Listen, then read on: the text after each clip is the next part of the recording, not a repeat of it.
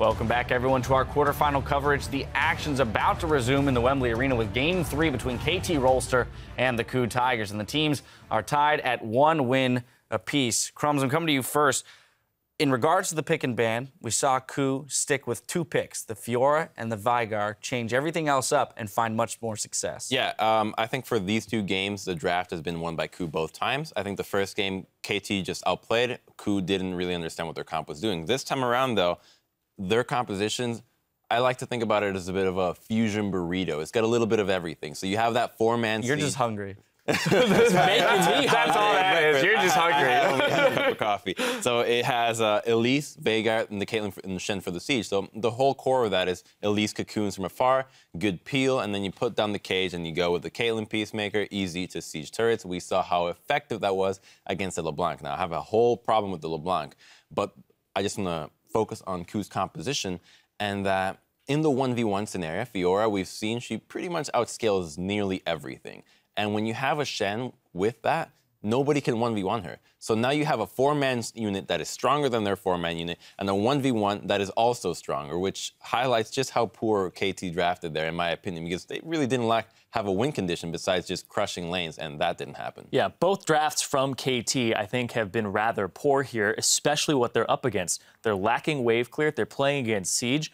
I think if you're going to go with a LeBlanc again, you really want to do that, you ban the Veigar. In game one, they banned both Elise and Lee Sin, and they still gave Hojin Rek'Sai. So those two bans I felt were actually misused, and they should have been banning something else. You can drop the Elise, first pick it yourself, get rid of the Veigar. I feel like they're falling short against these sieges, and they're struggling against that champion in particular in those scenarios. It's like speaking of the junglers, I feel like Score is the only reason they've been like these games have been close at all because I feel uh, the same way you guys do about the draft is cool has like a better draft in both games. But like to me, the Hojin's play has been too predictable. He's trying to pull the same gang twice against a person like Ssumday, like the consistency master, and he's ready for those lane ganks that are very inconsistent and risky because you fall behind on camps and, and it ended up when Darius being 2-0. And with that in mind, I need to kind of highlight the fact that KOO Tigers, if they kind of just ease up in the early game, Hojin plays a more consistent style, maybe they aim for the lane swap, then I think it will increase their odds. They're clenched up, but Tahm Kench isn't even in the game. I mean...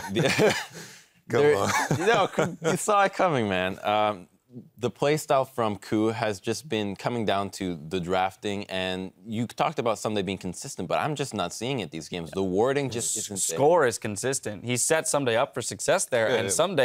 Ssumday to a degree, threw it away. Yeah, with Yeah, that, with I, that I gank. completely yeah. agree. Ssumday actually threw away a large portion of the game when he got caught on Renekton, and then everybody tried to back him up, and they ended up going down as well. So I, I don't think he's hitting that same consistency hmm. stride in this series just yet. All right, well, enough from us. The players are ready as we step inside the venue for Champ Select. PraY explains the edge he sees in his lane matchup.